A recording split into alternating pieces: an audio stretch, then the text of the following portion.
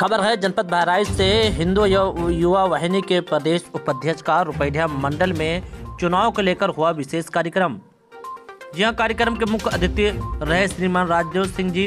उन्होंने बताया कि कार्यक्रम का मुख्य उद्देश्य हमारे संगठन के द्वारा बताए गए निर्देशों का पालन करते हुए हर क्षेत्र में हिंदू युवा वाहिनी का कार्यकर्ता रामनिवास वर्मा जी के समर्थन में कप, प्लेट, निशान को लेकर बताया कि वोट मांगे और क्षेत्र में कम से कम 50 लोगों को चयन करें। जल्द से जल्द कार्यकर्ताओं को सूचित अवगत कराए।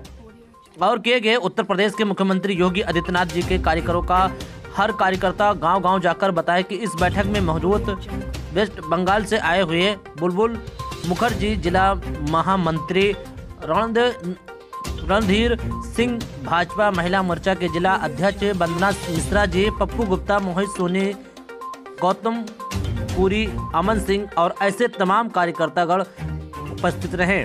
UP live hundred news channel की तरफ़ से अखिलेश श्रीवास्तव की खास रिपोर्ट।